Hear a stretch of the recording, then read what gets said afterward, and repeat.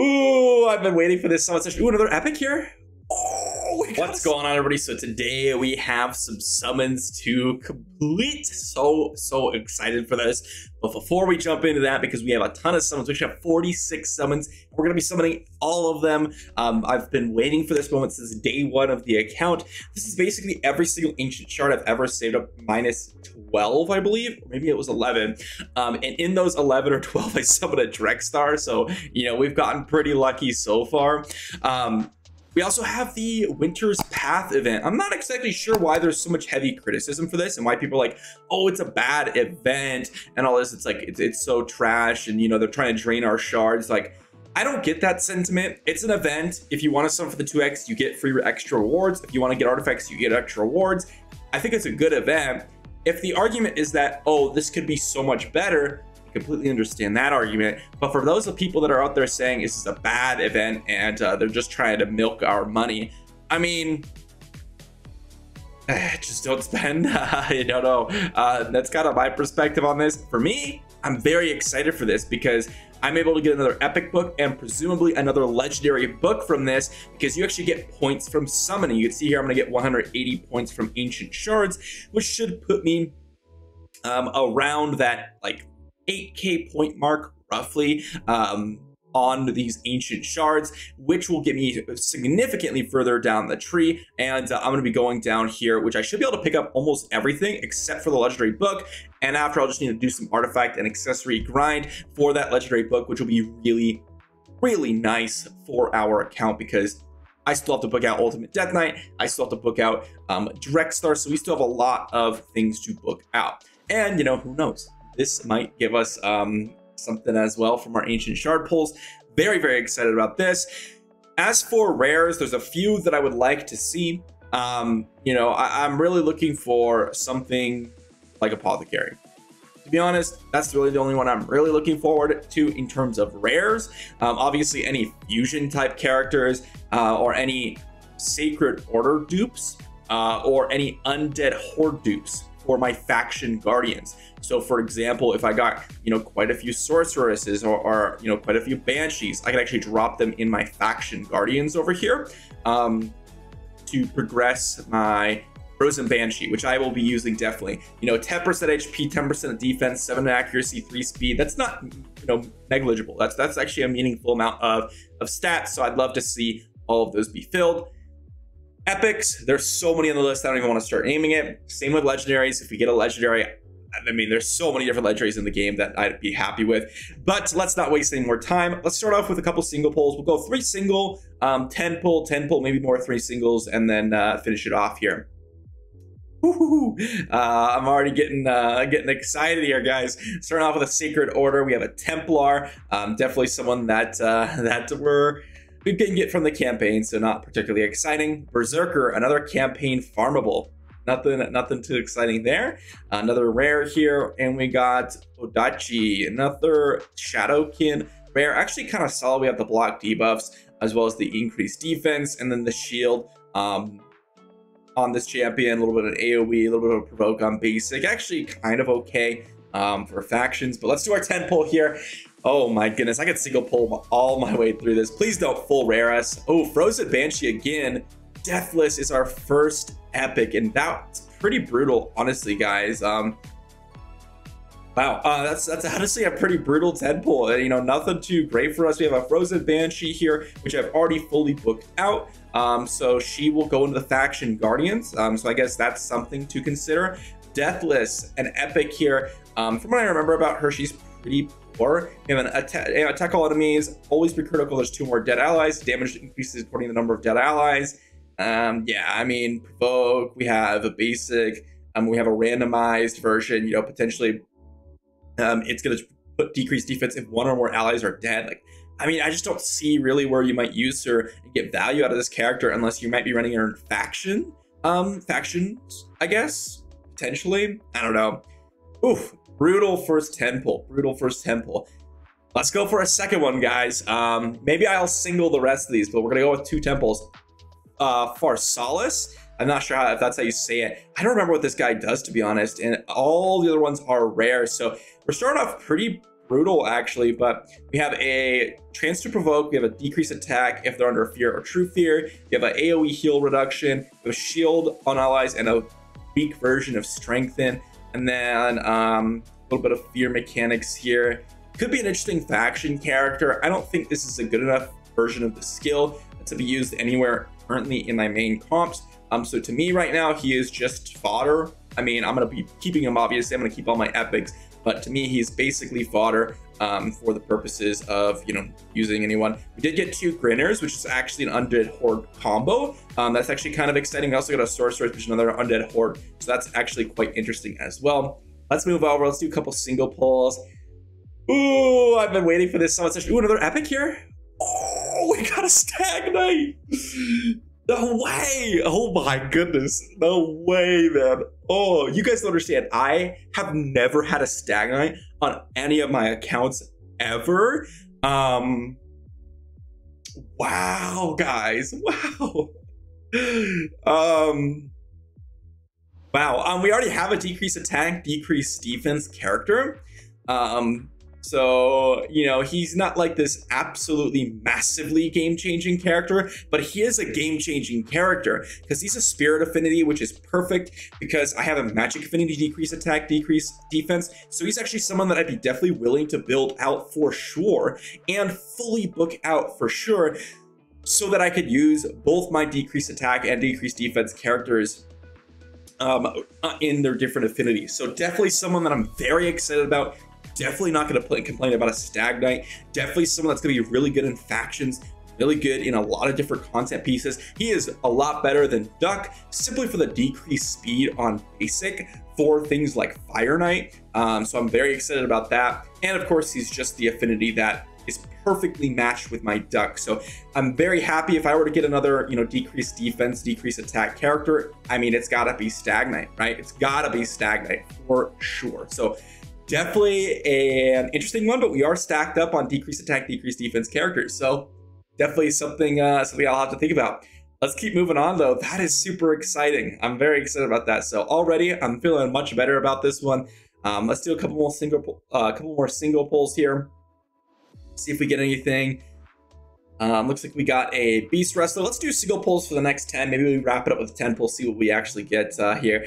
Again, I'm looking for an Apothecary. It's kind of the rare. Prosecutor here. I, I, don't know if I've seen this one. AoE decrease speed, decrease accuracy, or increase accuracy for attacking, and then heal reduction. Okay, kind of interesting. Potentially could be used for like the spirit key, because actually I, I, kind of need some characters for that. Um, itinerant. This guy's I've never seen before. 50% um, chance to leech if it's critical. Small version of decreased speed and increased speed on himself. Destroys the enemy's max issue at 30% of the damage. Look if this attack is critical. Hmm, this guy just seems like a, a bad character. um, yeah. Keep going here. Another epic. Another Pharsalas. You're kidding me. I can't believe I got a dupe epic. Are you kidding me? What the heck? I got a dupe epic and I have like so little epics in the entire game. Are you kidding me? You just scroll through here, guys. I mean, look, all these epics are, are available. All of these epics are available all these ones. I mean, are you kidding me? Getting a dupe epic at this stage is so unlucky. That is so unlucky. Wow. Keep going here, I guess. Um, Avenger, Avenger, come on. Let's give me, give me. I would I like to get um another Frozen Banshee. Wow, we are just absolutely unloading these things on us now. I'm really looking for that apothecary. I would like to see at least one more epic at the end of this, you know, summon session. So that's kind of what I'm hoping for. You know, obviously a legendary would be really cool. I don't think we'll get one, but you know, obviously that'd be really cool.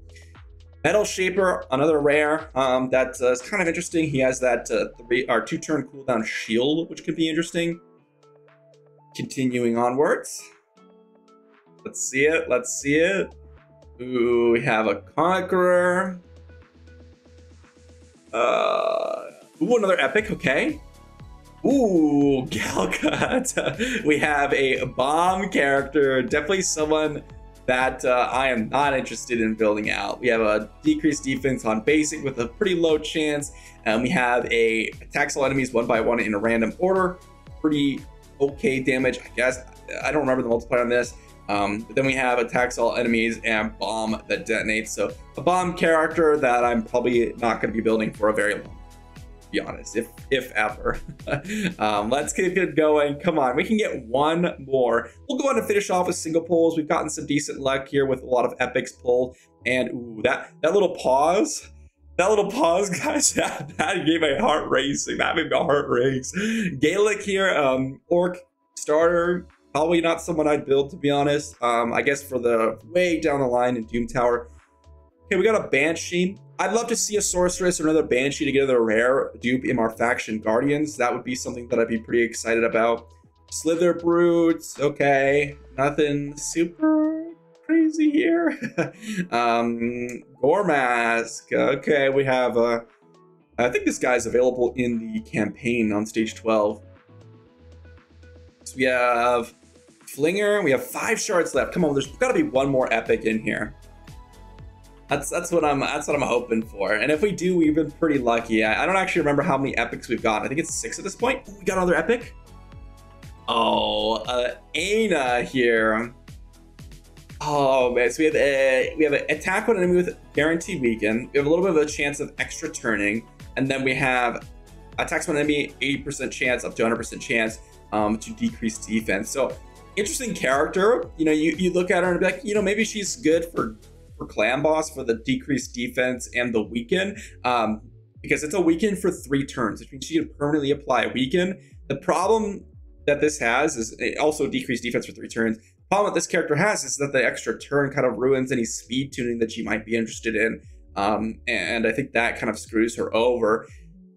Interesting character, but probably not someone I'd be building anytime soon, to be honest, because I have Athel for the weekend. And it's on basic, so, you know, probably not someone I'd be using Solaris. Yeah, stun. Is this the new rare? I think this is a new rare. Oh man. One shard left here. Pretty uh pretty average summons in terms of value, but we got a lot of epics, so I can't really complain. Um nice. Okay, so we're gonna finish it off there. Let me just pop back over. So we have 8,500 points. Um, you know, you might want to go for the energy, but actually the value for the gems here is actually a little bit better. So we're going to go down this way. We're going to go down the middle, down the left-hand side. We're going to see how far we can get. We got a little bit of gems here, and looks like we're not going to be able to pick up the epic book quite yet. So we still need about, eh, it looks like 12k points. Um, we did get a few gems here. Maybe I can just jump over the shop for the video here and pick up a couple of extra summons. Um, no, it's 270 gems. I couldn't remember how much it was because I have not bought any summons on this account for gems yet. Let me just jump into our collection here and see what our haul was. So we got six total epics. Am I correct on that? Six total epics. Quite a few rares. Um, so six total epics. Deathless, uh, pretty mediocre, right? Pretty mediocre. Uh, Galkut, a little bit of a mediocre bomb character. Pharsalas, Someone that could be interesting with the shield and strength in. This guy's probably one of my most liked characters that are one of the more underrated characters, I think, in terms of epics. I've always felt like I could maybe get a use out of him, um, but he always ends up sitting in the vault. Um, but since I have two of them, you know, he could be used for faction guardians, I guess, for the Knights Revenant. If I ever pull something like a skull. um, Ana, interesting character. You know, the three turn defense down and the three turn weaken is interesting. But uh, the only place that comes to mind that I really want that type of kit is Clan Boss and then the extra turn here. If this was like, um, I don't know, like a 20% chance of placing a poison, I would actually be like, oh, interesting. Maybe I'd use her for Clan Boss to slaughter in for someone like Athel for the guaranteed decreased defense and the guaranteed weaken all the time uh, with the poisons on basic, you know, potentially or something like that. Uh, but even then, you know, be suspicious. And then, of course, the you know, king of summons today, the Stag Knight. Now, this guy has basically recovered any sort of problems I might have had with the summon session. Six epics out of 40, 42 shards. Um, let me just check the rates here. I believe it's, yeah, 16% chance. So, um, um, if we were to just go ahead and put in 42 shards here, the calculator, and we were to multiply that by 0.16, we should have gotten 6.72. So we were actually a little bit below rate in terms of how many epics that we've summoned today. Um, we were a little bit closer to seven than we were to six uh, in terms of the statistics. So not getting seven is, you know, kind of sad. Um, but, but, you know, that doesn't mean that we were necessarily super below rate. It was pretty average, to be fair. And we did get the Stag. In terms of epic quality, I feel like um, I feel like we did. How would I rate this? I mean, if I'm looking through here, there's actually quite a few kind of mediocre to poor epics, right? Like, if out of this character group of characters, who would I be excited to summon? Maybe Vergis, Tayrel, Royal Guard, maybe Skaramis. Um, uh, let me see here. Sacred Order. You know, out of this group, I mean, it's Mordecai, Phoenix, Deacon. Uh, I actually don't know what some of these characters do, to be honest. Carlina, decrease attack on AoE, decrease the duration of debuff, strengthen. Eh, maybe. I'm looking through barbarians. Who would I be excited about? I'd be excited about uh, Fahrakin. I'd be excited about maybe Wote. uh, I don't know. Maybe the heal is good enough. Uh, I actually don't remember all the epics, by the way, guys, or I don't know all the new ones. So if I'm missing someone out of the ones that I should be excited about, I'm, I apologize. Um, Shatterbones, Skull Crusher, Ugo, all of which I'd be pretty excited about. Lizardman, we have Venomage, we have Jareg. Uh, both of those will be kind of exciting. We have Orcs, I'd be excited for. Honestly, even Ultimate Galek for someone like um, Spider later on in AoE HP burn is, you know, solid, even though he's not the best. Um, Zardala would be okay. Um, Vrask, Sandlash Survivor. Oh man, I'm looking through this, and, and there's quite a few of them, but I think that um, Achak, Magnar. Oh man, I want a Magnar so bad. That's actually someone allure um, that I'd be really interested in getting. I don't know. I feel like we got, I would say, a little bit below average luck in terms of quality of epics, along with you know amount of epics. Stag Knight is hard to argue, though. I mean, he is arguably one of the best. The problem is, when you look at my account, right? What do I need? I kind of need a good support, a good healer support, or like a good, a really, really good, um, like AOE poisoner or something like that potentially. Honestly, the support is what I'd be really looking forward to, right? If I had a support, I could easily swap out like Kunoichi or Athel and drop the support in there, maybe with a revive, um, and I'd be totally fine. I already have Duck completely built out with a one star blessing, booked out as well. I have the decreased attack, the decreased defense. So having a Stag Knight, what it really does is just amplify the other affinities that I can't run, run Duck on. But the problem with that is like if I'm looking at the dungeons that I'm running right now, Dragon is my top priority. And, you know, right now, stage 19 is kind of a bottleneck because a lot of my characters are force Mark. Once I get to magic mark, Stag Knight's actually just going to be pretty bad compared to someone like Duck. Uh, but then, you know, you talk about Fire Knight, and it's like stage 20, he's the absolute perfect affinity for, and he's better than Duck. So, you know, maybe when I get to Fire Knight, I'll be really appreciating him. And then, honestly, for Spider's Den, um, maybe. maybe he's um he, he's better because he can decrease the speed. So and if I stagger the decrease of defense, decrease attack, I can almost have permanent stats up for them, which could be interesting. Yeah, I'm not quite sure. I'm not quite sure. Let me know what you guys think in the comments down below. I'm definitely excited about the Stag Knight, don't get me wrong. But honestly, it might be a few days, maybe a couple of weeks before I actually get to building Stag Knight. As for everyone else, they are definitely going to the vault for right now. Um, I'm not going to be using any of these characters, um, but I forgot to mention actually that we do want to put in our faction guardians before I forget. Um, and so we're going to go ahead and just do the Undead Hordes rares. So we're going to go boom, boom. There's going to be two there. And then we're going to go ahead and put two rares of the Grinners here. That's 10% attack, 10% HP. That's actually kind of meaningful from the Faction Guardians. Um, I unfortunately, I don't have another set of Frozen Banshees. It might be worth just keeping out all of our Undead Hordes um, at the moment. So I'm going to keep that. So I'm going to keep the Undead Hordes um, on me right now. So we're going to pull these into the reserve vault, both of these. And then any other character that I might be missing in terms of faction guardians. Um, I think where's Forsals? He's in the Knight Revenant, right? Yes, yeah, so we're gonna drop both of these guys in the Knight Revs uh, uh, epic faction. And then I've been only looking for like sacred order rares, right? We did get two witnesses, I guess. Um, is she a is she a fusible or is she a fusion character? No, so I just saved her. I don't know I saved her, but I guess it's I'm glad I did because we can actually give Athel initial 10% HP. And if I look here, what does that give us? Additional 1300 HP. Not bad, you know, that's something. Um, it's something. uh, I guess I can look for Ogryn Tribes because that's another rare that I'd be using.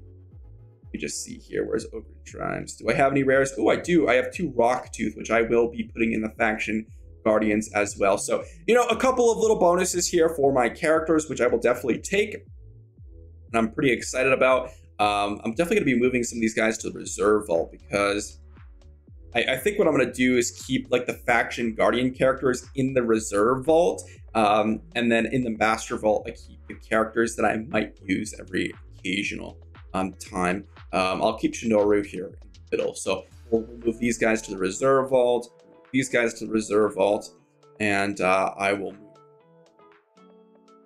these guys over to collection. Very nice. And is there anyone else? Very nice. We'll put these two in the reserve vault as well. So overall, not a bad haul. I'll be honest. Um, I'm, I'm honestly pretty happy with that overall. Definitely not someone or not something to complain about too much. And uh, I'm still missing, still missing that one Sylvan Watchers epic are rare, guys. If I get a Sylvan Watchers rare, I can get another legendary book. That's the only thing that's holding me back. I have to upgrade a force champion to six star, um, which isn't actually that hard to do because I can always just pick, you know, like Alika or War Maiden or Shaman, and I can just bang that out real quick to just get my six star book or my legendary book, which I happen to have some. So we're gonna go ahead and use these at the final portion of this video. I still am looking forward to booking out Ultimate Death Knight and we did get the cooldown. We still have one more book to go because I do want to get that cooldown on this AoE decrease attack. I think that's kind of worth it. We did get that shield cooldown done, which is something nice for us to have. And I will be saving my epic books going forward because, well, I have a Stag Knight now, and I want both his A1 and his A2 completely maxed out when I decide to use him. So he does have that, you know, 55% chance with the sniper mastery and then the 100% chance to go ahead and decrease all that speed, attack, and defense. So not a bad haul. I got one of the best epics in the game, so I can't be super mad about that. I just wish I got something a little bit more exciting is the only thing I'll say. Thanks for watching, everyone. Hopefully you guys enjoyed. This was the first real summon session on the account. Any other time I've done summons, it's been like one or two. And um, I'm still working through like gear removal. I wanted to summon before I did any gear removal because, you know, maybe I summoned someone insane, like a legendary. I don't know. You know, I got myself like a Brogni. I got myself something crazy like that. Um, and I wanted to make sure before I started re-gearing everyone and, and building out my clan boss comp I will be summoning my Void Shards tomorrow because there is a 2x chance for Legendaries, I think, and Epics. And The wording was a little bit weird. If it's not for Epics and Legendaries, I won't summon, but if it is, I will summon. So stay tuned for that, and also stay tuned for the complete regearing of my account because I will be doing that tonight.